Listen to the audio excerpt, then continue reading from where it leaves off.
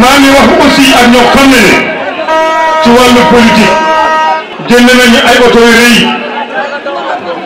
ñu ñëw Tumbra wala ay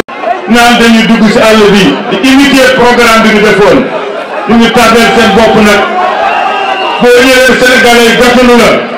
tàccu la ba mu sax mais bu élection jotee sama waa ji lañ koy jox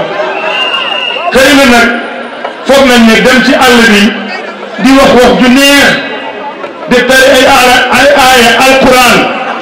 tax na nga am waa yow njumte la waay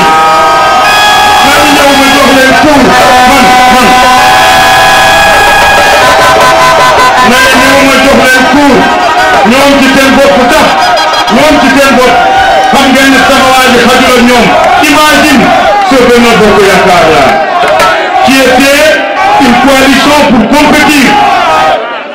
ci mën a am xel macha allah mën a am xol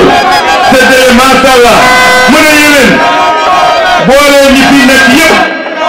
ànd ak ñoom te li ko waral du dara ñun ñi waa APR bis bu ne ñun ci kawam di toog di wax mais xam nga lan la lan la ñuy wax. Sénégal moo ma ñor moo waral coalition bi incha allah bi nekkoon pour élection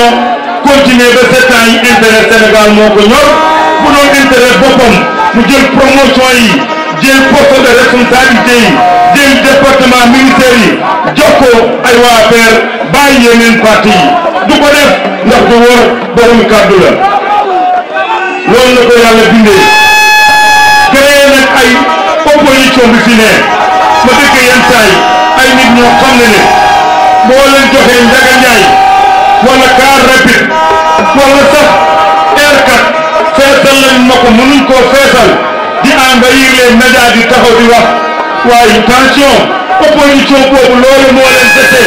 parce que ils ont compris que dañu perdre élection yi moo waral ñu créé ay wax yoo xam ne ne pour yàq esprit yi mais tardé nañu ba nga xam ne ne xamuñ Sénégalais yi d'aujourd'hui sont très mûrs et xam nañ ce qui se passe dans ce pays que Macky Sall c'est un président travailleur